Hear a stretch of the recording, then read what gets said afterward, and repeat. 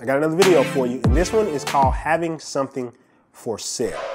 Now, the reason I decided to add this is because when we first started off in business, we were creating products. One of the big things I realized that a lot of people don't do is have something for sale. Now, what I mean by that? I'm gonna break this down, I'm gonna unpack this for you. But I want you to think about it like this. If you had the most amazing, amazing marketing that ever could be created by a company, you generate buzz of millions, not, not no, no, no, no, billions of people, billions of people. But at the end of it, there's no action for them to take. They can't buy a product, they can't purchase anything, they can't even connect with you. How well or how effective was your marketing, right? You spend all this time getting all this credibility, all this recognition, but when they come to you, you don't have anything for sale.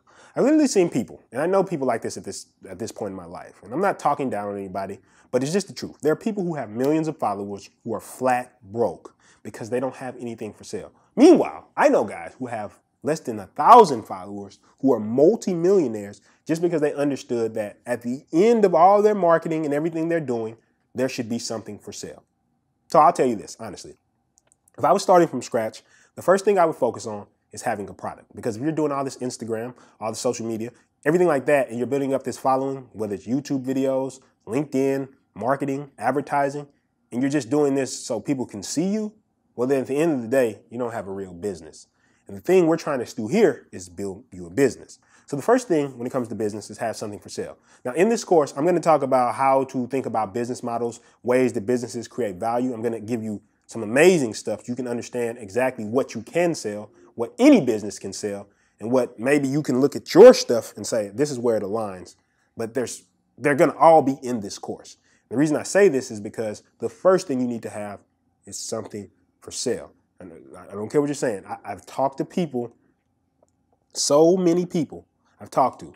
I've talked to them and they say, oh, okay, I want to start, I want to help businesses become successful. I want to be a consultant or something like that. And then I say, okay, what's your system that you use to grow these businesses? And they're like, well, you know, I just come help them and tell them advice. And I say to myself, well, nobody's going to buy that shit.